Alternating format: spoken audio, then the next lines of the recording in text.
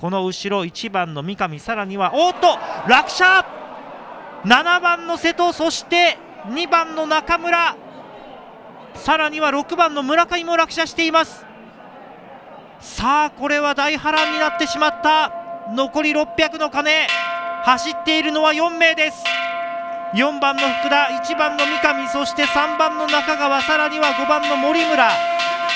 4番の福田が先行していきます。残りが1周。2番手1番の三上3番手少し離れた3番中川その後ろ離れていきます5番の森村。バックストレッチ。4番の福田逃げていきます。さあ2番手1番の三上ですが3番手からまくってくるのは3番の中川。3番中川が前を捉えられるか4番の福田と並んでいます。